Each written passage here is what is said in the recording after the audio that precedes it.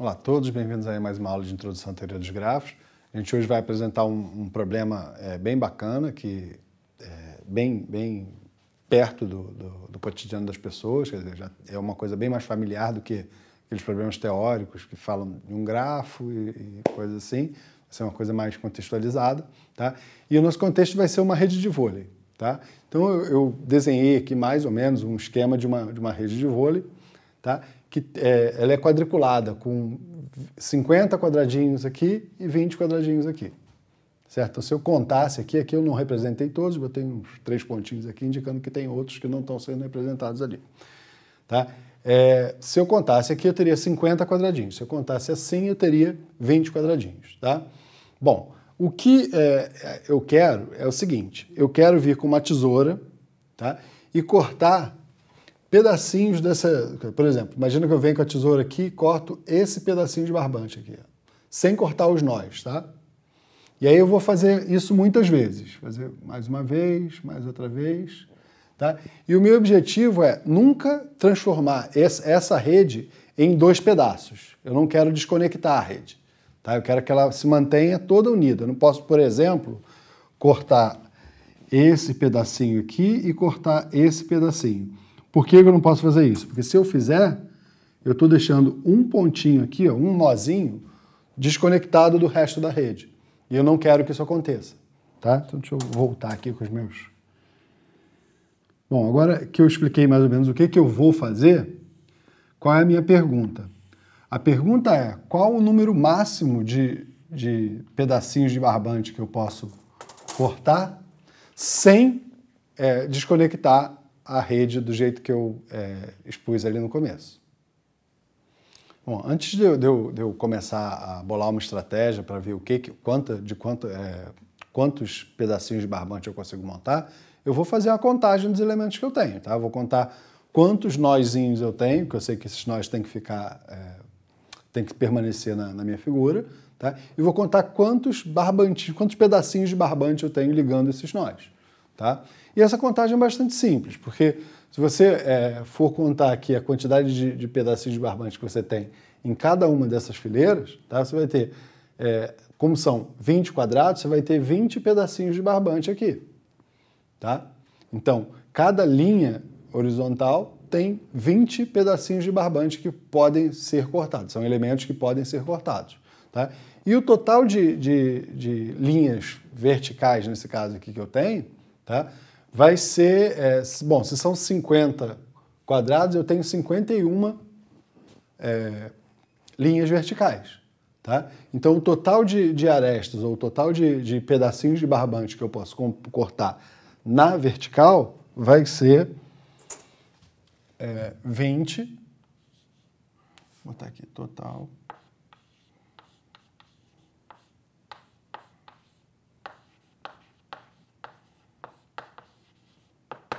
Vou chamar de aresta, o, o, pedacinho de barbante que eu posso cortar, ou não, tá? É, que vai ser 20 vezes 51 assim, nesse sentido, e vou contar também os que estão nesse sentido, que também é bastante simples. Eu tenho 1, 2, 50, tá? E a quantidade de linhas que eu tenho vai ser, como são 20 quadradinhos, tem 21 linhas horizontais aqui nesse caso. Tá? Cada uma dessas linhas horizontais tem exatamente 50 pedacinhos de barbante que eu posso cortar. Tá? Então, eu vou ter, além desses 20 mais 51, eu vou ter outros 21 vezes 50. Tá? Esse é o total de arestas que tem essa minha é, rede de vôlei. Tá bom? É, além disso, eu vou, vou contar o total de nós.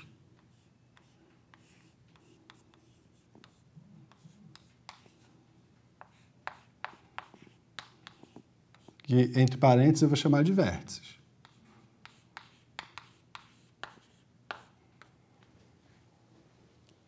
Tá certo? Então, é, como a, nossa aula trata de grafo, aqui apareceram os dois elementos aí que, que todo grafo tem que, tem que apresentar para a gente poder estar é, tá de fato falando sobre grafo. Tá? São as arestas e os vértices. Certo? Então, é, a minha rede de vôlei passou a ser um grafo tá? que tem essa quantidade aqui de, de arestas e um total de nós que eu vou descobrir agora. Mas esse total de nós também é fácil, basta você, você ver que são, é, são 51 pontinhos aqui amarelos que eu vou colocar. Ó.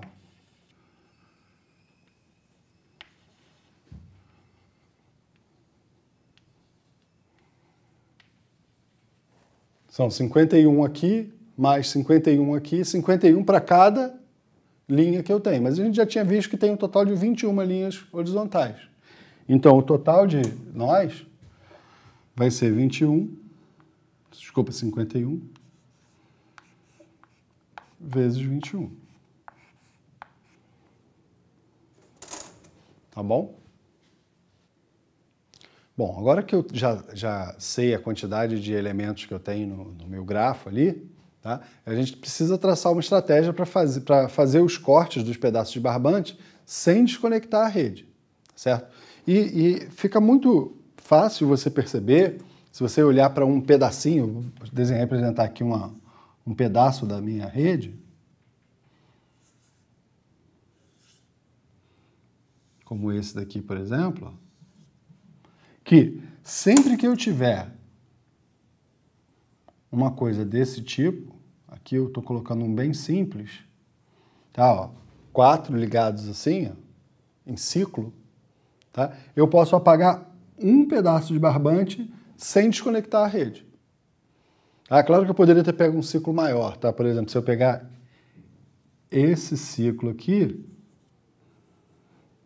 esse aqui, ó,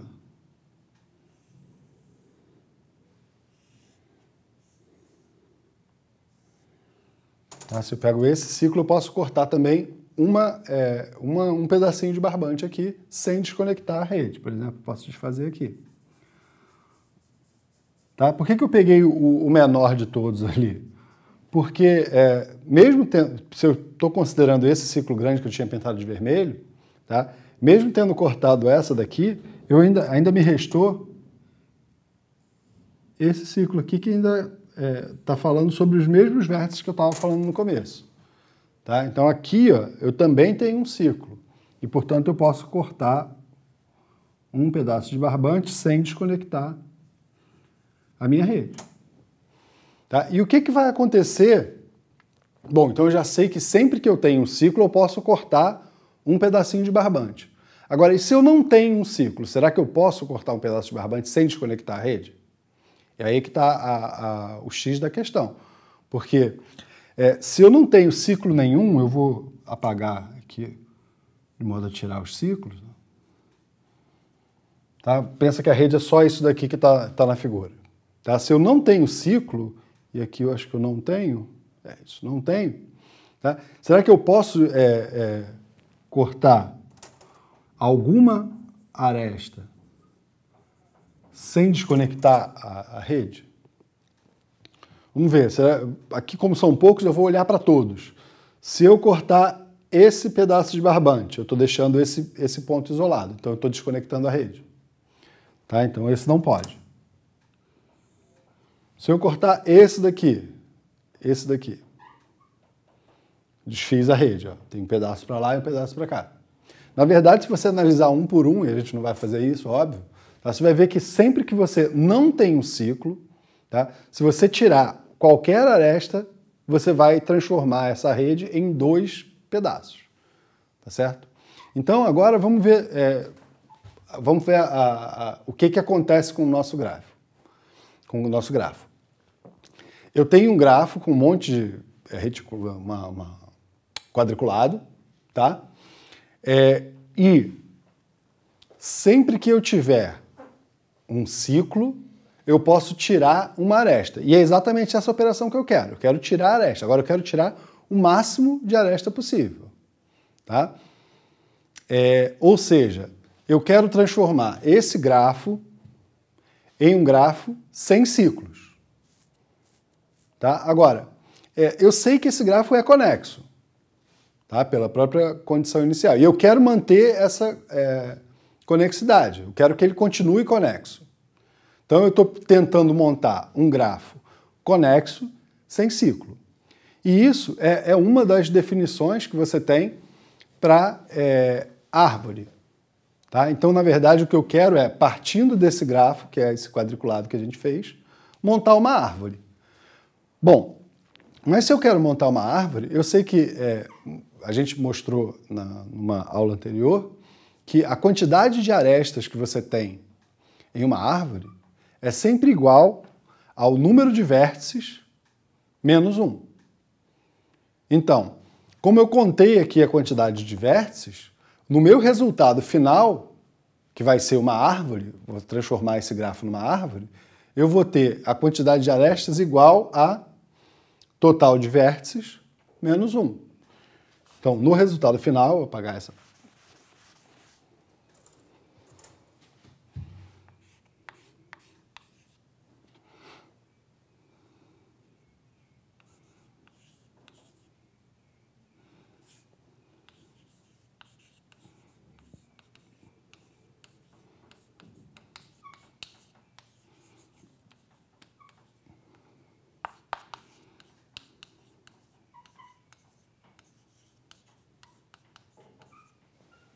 É, no, no grafo obtido após todos os cortes, tá, eu vou ter uma árvore. E se eu tenho uma árvore,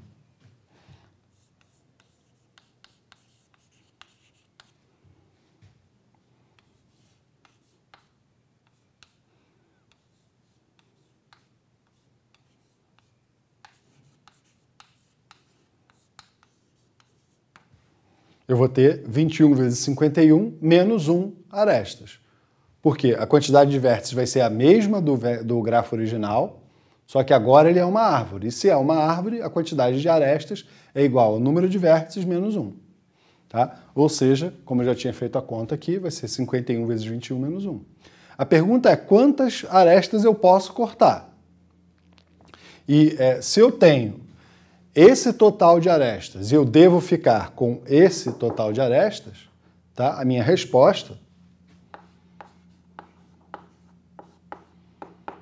vai ser o total de arestas que eu tinha, 20 vezes 51,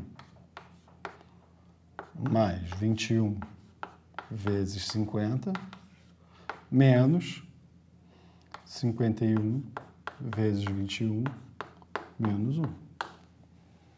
Tá? Agora é só uma questão realmente de fazer as contas aqui. Tá bom? É, eu vou escrever isso como 20 vezes 51 mais 21 vezes 50 menos é, 20 vezes 51 mais 51 menos 1. Tá? Eu peguei esse 21 vezes 51 e transformei em 20 vezes 51 mais 1 vezes 51. Tá certo? Para que isso? Porque agora essa parcela vai cancelar com essa daqui. Tá? E eu vou ter, na verdade, 21 vezes 50 menos... Bom, 51 menos 1 dá 50. Tá? Então, menos 50. Igual, aqui eu tenho 50 para colocar em evidência, se você quiser pensar assim, vai ficar 21 vezes 51 menos 1 vezes 51. Então isso dá 20 vezes 50, que é a resposta do nosso problema, tá bom?